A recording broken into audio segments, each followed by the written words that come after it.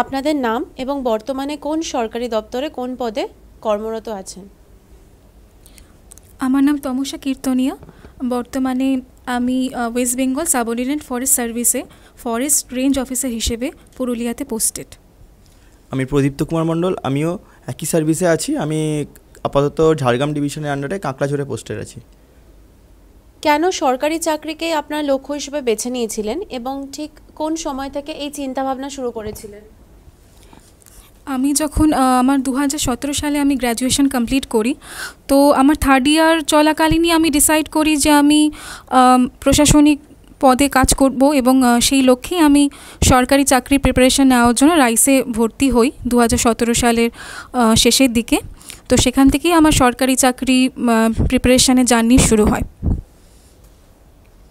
আমি দু হাজার ষোলো সালে মাস্টার ডিগ্রি কমপ্লিট করার পরে ডিসিশানটা নিয়েছি যে প্ল্যান বি হিসাবে আমি সরকারি চাকরির প্রিপারেশন জন্য রাইসে ভর্তি হই। তারপরে আস্তে আস্তে বিভিন্ন এক্সাম ক্লিয়ার করার মাধ্যমে এই চাকরিটা আমার বেস্ট মনে হয়েছে, তো আমি এখানেই এসেছি ওই জন্য। এই যে রাইসের ইউনিক মেকানিজম এবং পঠন পাঠন পদ্ধতি, এটা কীভাবে আপনাদের লক্ষ্যে পৌঁছতে সাহায্য করেছেন রাইসে আমি যখন প্রথমে আসি, তো প্রথমে আমার পুরো এনভায়রনমেন্টটা আমার সেই স্কুল লাইফকে অনেকটা মনে করিয়ে দিয়েছিল। কারণ স্কুলে যেরকম আমরা একটা মানে পিরিয়ড ওয়াইজ একটা নির্দিষ্ট টাইমে প্রত্যেকটা ক্লাস আমরা বিভিন্ন সাবজেক্ট যেগুলো আমরা মাধ্যমিক লেভেল অবধি পড়ে এসেছি, সে সমস্ত সাবজেক্টগুলো একসাথে পড়াশোনা করার সুযোগ পাচ্ছিলাম এবং সেখানে অনেক কম্পিটিটিভ মানে যারা এসছিল মানে এত, আমি ডাব্লিউ সিক্সটি ওয়ান ব্যাচের স্টুডেন্ট তো সেখানে ফার্স্ট মানে যখন আমি সেখানে পড়ছি তখন আরও আমার সাথে প্রায় আশি জন মতো স্টুডেন্ট ছিল। তো সেখান থেকেই আমার একটা কম্পিটিটিভ মনোভাব আমার মধ্যে গ্রো করতে থাকে যে আমার নিজের ব্যাচে একটা ছোট্ট একটা ব্যাচে যদি এত স্টুডেন্ট থাকে তো প্রত্যেকটা মানে এরকম অনেক অসংখ্য ব্রাঞ্চ আছে রাইসে এবং সেখানে তাদের অনেকগুলো ব্যাচ রয়েছে। তো তাদের মধ্যে কম্পিটিশন করে এগিয়ে যাওয়ার জন্য মানে রাইস যথেষ্ট আমাকে হেল্প করে। মান্থলি যে মক টেস্টগুলো থাকে সেগুলো প্রচণ্ড হেল্প করেছিল। এবং মানে ইন্টারভিউ সেশন মানে আমার এই চাকরিতে ইন্টারভিউ একটা প্রাইম ফ্যাক্টর ছিল।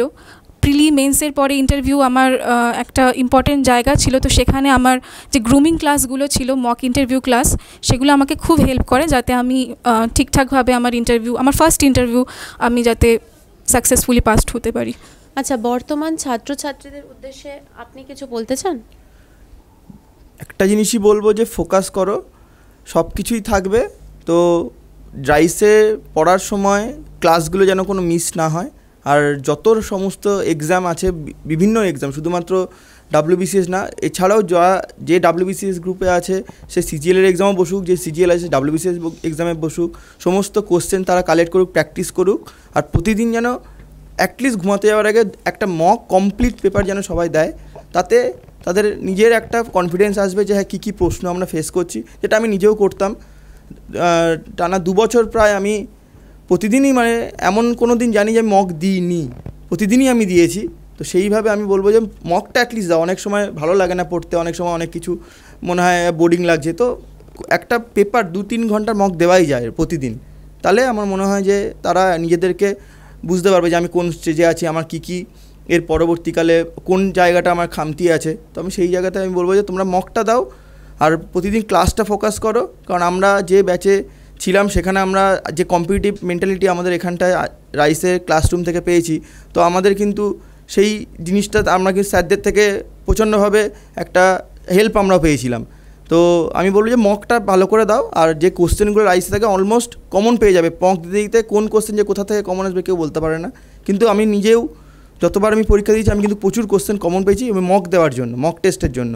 বলব রাইসের যে মেন যে ভিত, আমি বলব যে মক তারা খুব ভালোভাবে ওই যে প্রিপারেশনটা একটা বেস্ট ওয়ে হচ্ছে মক টেস্ট আমি বলব সেটা তারা যেন বেশিরভাগ করে ফোকাস করে। আপনাদের মূল্যবান সময় দেওয়ার জন্য অনেক ধন্যবাদ। Thank you